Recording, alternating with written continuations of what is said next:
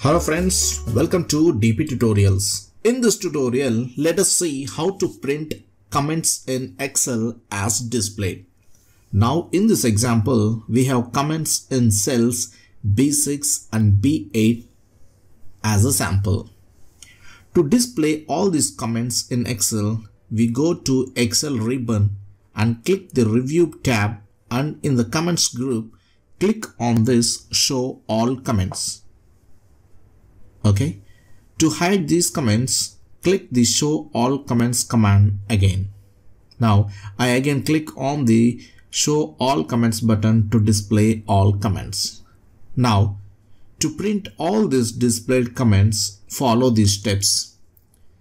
Go to the Excel ribbon, go to File, select Print and click on this Page Setup section.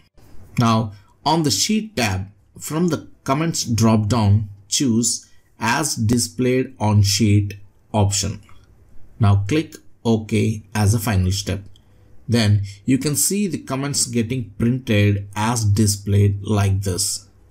So friends, this is all about how to print comments as displayed in Excel. I hope you have enjoyed this small trick. If yes, please do give me a like, share and comment. For further more interesting videos, please do subscribe DP Tutorials. Thank you friends. Thanks for watching.